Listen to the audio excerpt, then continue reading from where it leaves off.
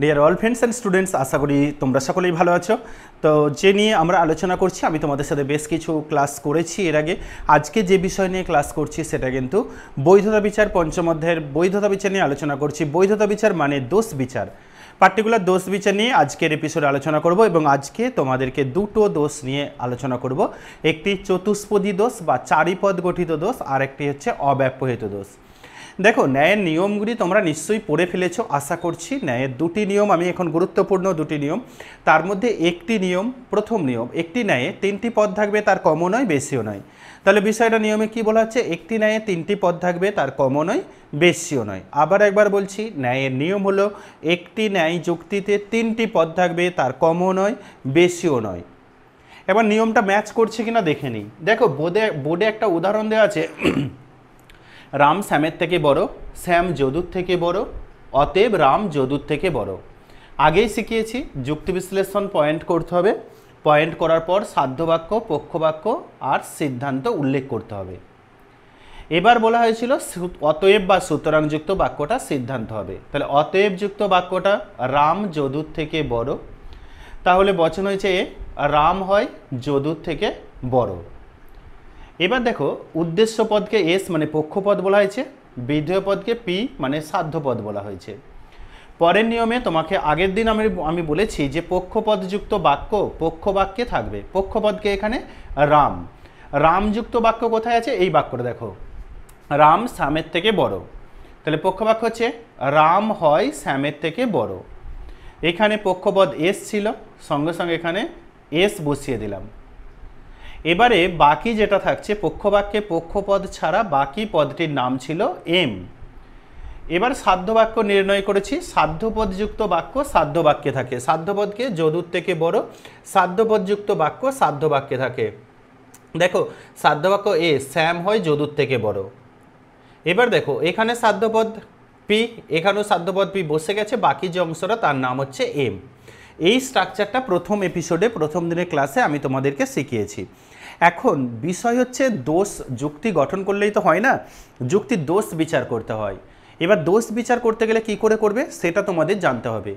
দেখো, ন্যায়ের নিয়মগুলো তোমরা খুব ভালো করে পড়ো। আমি একটি নিয়ম তোমাদেরকে মনে করতে বলছি, একটু মনে করো, প্রয়োজনে খাতায় নোট করো। একটি ন্যায়ে কেবলমাত্র তিনটি পদ থাকবে, তার কমও নয়, বেশিও নয়। একটি ন্যায়ে কেবলমাত্র তিনটি পদ থাকবে, তার কমও নয়, বেশিও নয়। এই তিনটি পদ কে কে? সাধ্যপদ, পক্ষপদ আর হেতুপদ। অবশ্যই প্রত্যেকটি পদ কিন্তু একবার করেই ব্যবহৃত হবে। দেখো কি বলছে। কটা পদ আছে? Number one, Ram. একটা পদ, পক্ষপদ। দ্বিতীয়, যদুর থেকে বড়। দুটো পদ, সাধ্যপদ। রাম হলো পক্ষপদ। যদুর থেকে বড়, সাধ্যপদ। তিন শ্যাম হেতুপদ চার শ্যামের থেকে বড় হেতুপদ।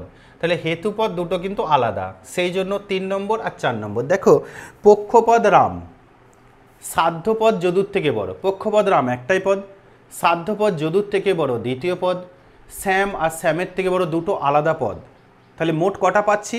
রাম এক নম্বর, যদুর থেকে বড় দু নম্বর। আর কি পেলাম এখানে আরেকটা বিষয়? শ্যাম তিন নম্বর শ্যামের থেকে বড় চার নম্বর।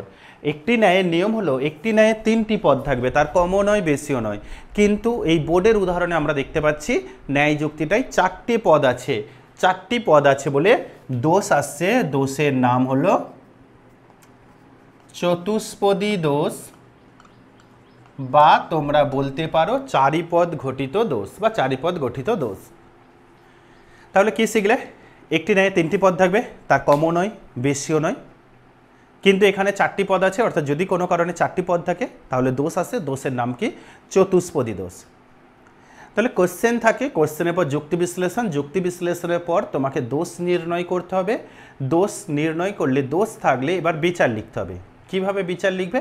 খাতা পেনে নোট করে নিতে পারো। যেমন ধরো লিখব এইভাবে, এটি একটি ন্যায় যুক্তি। ন্যায়ের নিয়ম হলো একটি ন্যায়ে তিনটি পদ থাকবে, তার কমও নয়, বেশিও নয়।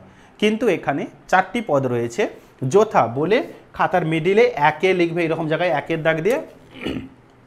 রাম পক্ষপদ, তার নিচে দুয়ে যদুর চেয়ে বড় ড্যাশ দিয়ে সাধ্যপদ, তিনে শ্যাম হেতুপদ, চারে শ্যামের থেকে বড় হেতুপদ। অর্থাৎ চারটি পদ রয়েছে, কাজেই যুক্তিটি অবৈধ হয়েছে এবং চতুষ্পদী দোষে দুষ্ট হয়েছে।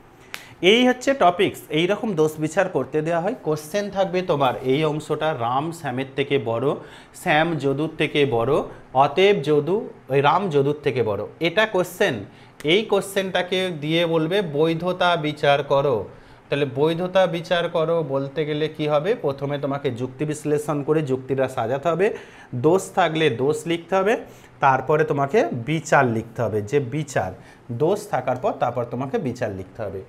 এই পূর্ণাঙ্গ স্ট্রাকচারের জন্য তুমি চার নম্বর পাচ্ছ। কোনো নাম্বার যদি সঠিক লেখো, কোথাও নাম্বার কাটার নাম্বার কাটার কোনো জায়গা থাকছে না, অবশ্যই চার নম্বর পাবে। ক্লিয়ার বিষয়? আজকের এপিসোড এখানে শেষ করব। আজকের এপিসোডে আমি তোমাদের শেখালাম চতুষ্পদী দোষ কীভাবে গঠন করা হয়। আগামীকাল আরেকটা নতুন দোষ শেখাবো।